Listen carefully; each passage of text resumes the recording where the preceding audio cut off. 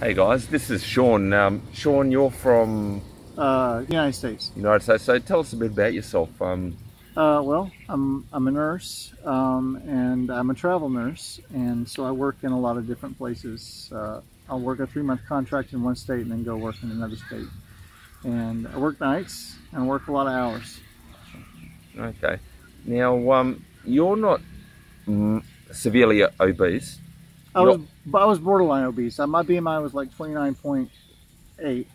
So, but no, I wasn't severely obese. No. Okay, so what brought you to weight loss? Um, basically, I work with chronically ill patients all the time, and probably half of the patients I take care of didn't have to be in that situation if they weren't morbidly obese. And that's not an exaggeration, that's the truth. Right, so, And, so I, and I wanted to head that off for myself because I could see if I kept living, you know, eating the types of food I was eating, and um, it was just not going to be good for me. My family has a history of heart disease and and diabetes, and I didn't want to live that life.